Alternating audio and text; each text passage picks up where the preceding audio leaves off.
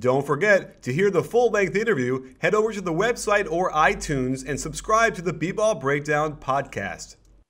Hey, sports fans, Coach Nick here, and welcome to the B Ball Breakdown podcast. I'm excited to have Jared Zwerling on from Bleacher Report. Uh, he's been doing some awesome stuff uh, recently, and we wanted to talk a little bit about it. So, Jared, uh, talk to me. You're getting prepped for All Star Game weekend these days? Yeah, a lot of stuff going on on and off the court. It's going to be a crazy week. Not to mention, it's the first time it's a five day All Star week. Not to mention, it's also Fashion Week here in New York City. So, a lot of parties, a lot of events. Uh, first time All Stars trying to capitalize uh, off the court branding, uh, uh business portfolio wise. So, yeah, I'm, I'm definitely excited. So let's talk a little bit about Scott Brooks. You had an awesome article where you got to sit down with him, which I think is kind of a rare thing. Doesn't sound like he likes to do one on one so much.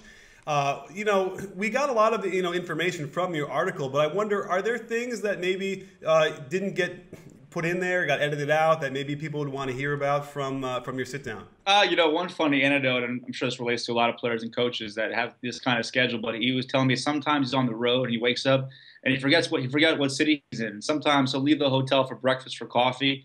He'll go back to his uh, room or, or floor. He'll forget what floor he's on, what room he's in. He has to go back down to the check-in and say, uh, "Hi, I'm Scott Brooks." He has to show his ID that he actually is a head coach for the Oklahoma City Thunder. So, funny stories like that, just with the travel schedule.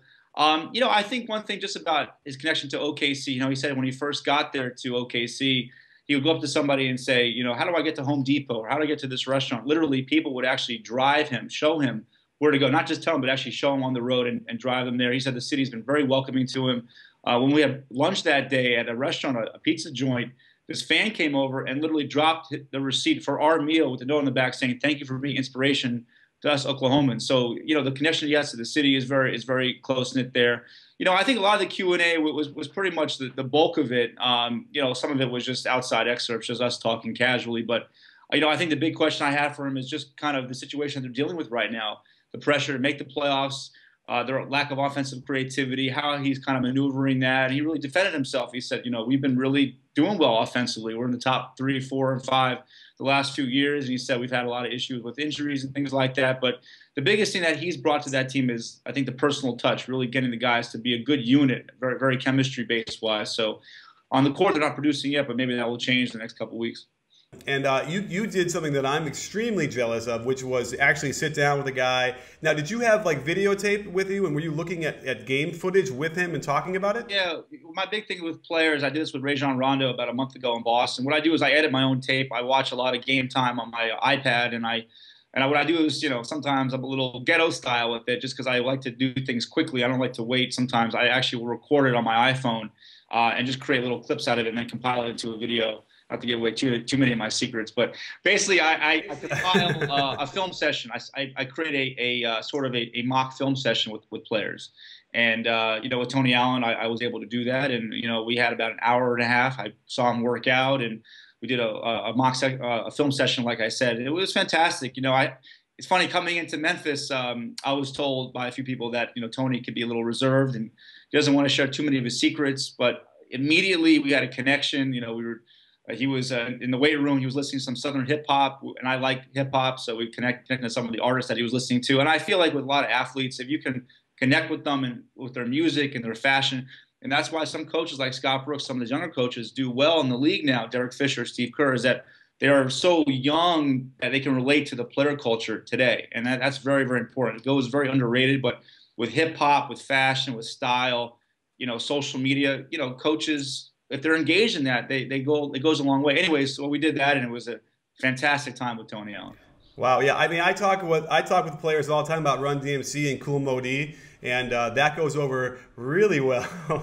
yeah. Uh, but you know, to them, Ice T is just some guy on uh, on TV, I guess. Uh, unfortunately for me, but uh, I, I, hear you. There is certainly a way to connect there, and it sounded fascinating because you know, I'm I'm going to do this, and I don't want to make it seem like I'm stealing your idea because I've had the idea and I've been trying to prep it for a while now. Is to do you know sort of the, the Jon Gruden style thing where he does with the football players and the quarterbacks, yep. where we do that and we literally break down tape because yeah, there's nothing more fascinating to hear a guy like Tony Allen. Well, why did you cut him off at that angle, right? And then he'll say, well, because I know he's a lefty, he likes to go into the middle or something like that. Yep.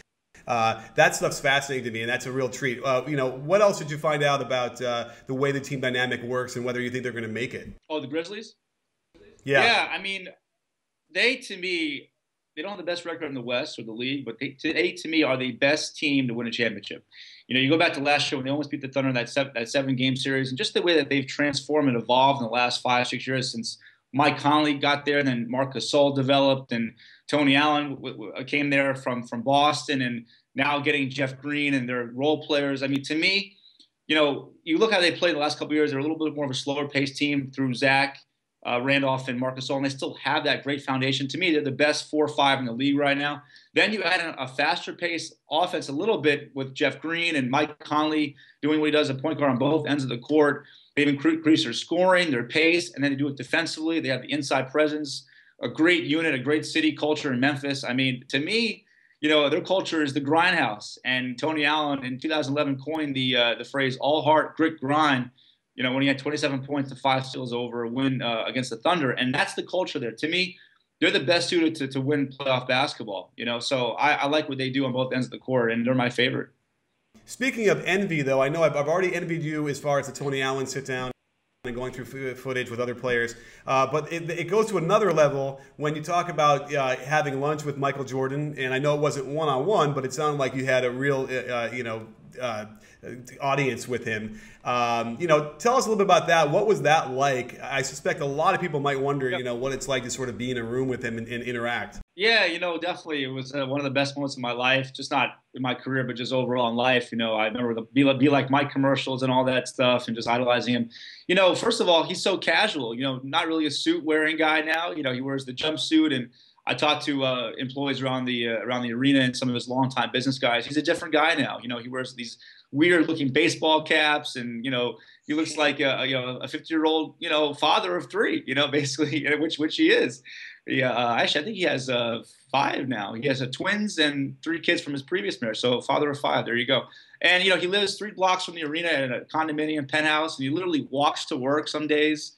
Like i said wearing the jumpsuit very casual life and you know, I, I, think for him, he's out of the spotlight now, and but he's he's so invested with that team. In fact, if you look at how they rebuilt and rebranded the, the, the Bobcats to the Hornets, he was involved almost day to day with from from the arena lights to the design of the court. Jordan Brand was the creative firm for that, so they helped out with a lot of the designs and the creativity, even down to the carpeting. He wanted certain uh, wall structures and designs changed. So he was very day to day. And I talked to MJ and his business team. You know, MJ from his Nike and Jordan brand days, he became basically a creative consultant. He understood color schemes and what will attract fans. So he's very day to day there.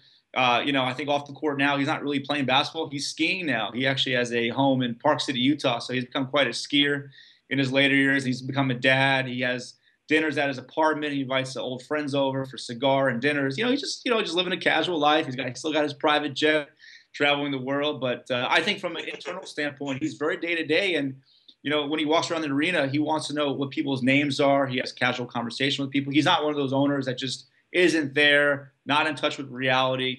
Um, and also interesting too, he actually has hired his family. You know, his brother James, uh, he used to work in the military is a part of the uh, leads all the arena operations, and his daughter Jasmine is a basketball coordinator. She actually coordinates with NBA scouts and uh, agents to orchestrate draft pre-draft workouts. So it's interesting, you know, how his family is also working for him too. But really, yeah, it was a fa- fascinating time, Nick.